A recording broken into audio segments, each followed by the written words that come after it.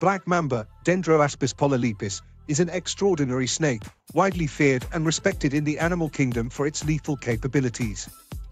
This species is predominantly found in the savannas, rocky hills, and woodlands of southern and eastern Africa. With an average length of 8 to 10 feet and occasionally reaching up to 14 feet, it ranks among the longest venomous snakes in the world. Its name comes from the pitch-black color of the inside of its mouth, which it displays as a threat signal, accompanied by a hood-flaring stance and a loud hiss to ward off danger. The black mamba is both fast and agile, able to reach striking speeds of up to 12 miles per hour, making it one of the fastest snakes in the world.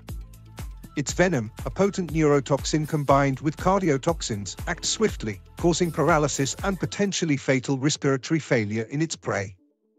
Without antivenom treatment, bite is usually deadly within 20 minutes to a few hours, depending on the dose and proximity to major blood vessels.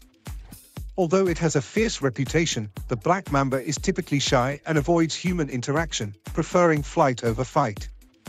However, if threatened or cornered, it will defend itself aggressively, making it both feared and admired as a symbol of power and survival in the African wilderness.